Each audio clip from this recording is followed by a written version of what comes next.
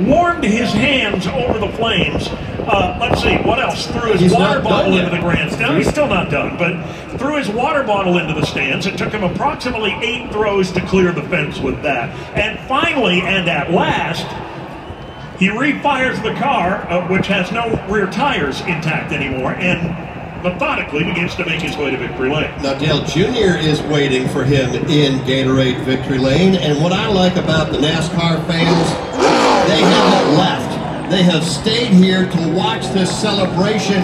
And Winston Kelley, I have a feeling this celebration is going to go on for a while. What do you think? Absolutely, is it. It is Dale Earnhardt Jr., one of the owners of the team. And Dale, you've taken a lot of guys to victory lane here at Daytona to the first win. Your thoughts as Noah gets his first win and here at Daytona? It's great for Noah. He's worked really hard to get himself in this situation, and just happy for him and his whole team. They work they work hard. And we got great company, a lot of great people working there. It's great to be successful. Back-to-back wins here at Daytona. What is it about this place with the Earnhardts and Daytona? I don't know. You know, we, we really put a lot of emphasis on our plate program. Uh, always did as a driver.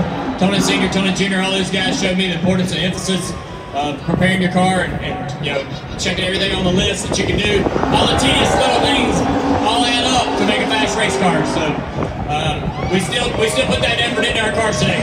Congratulations to Joy and uh, That's Dale Earnhardt Jr. We'll talk to the driver, Noah.